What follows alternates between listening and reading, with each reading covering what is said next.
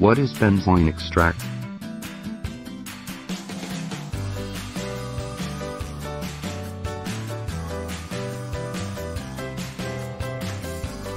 Benzoin is the sap that comes from cuts in a trunk of trees that belong to the Styrax family.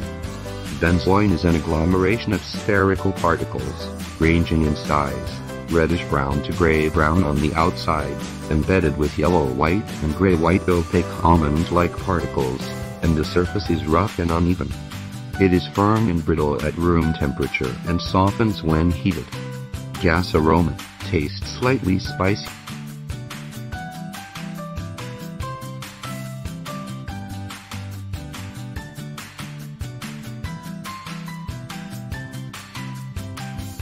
The name benzoin sounds to remind us of some spices. Those who don't know it think it is a kind of sleep aid, but in fact, don't underestimate benzoin. Benzoin itself is a kind of Chinese medicinal material. Medicinal materials have also appeared in many Chinese patent medicines, especially in some Chinese patent medicines for the treatment of stroke and other diseases.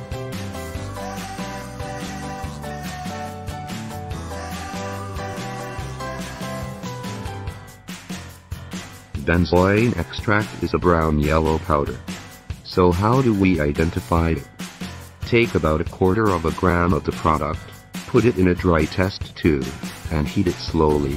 A pungent aroma will occur, and most of the prismatic crystals will be sublimated.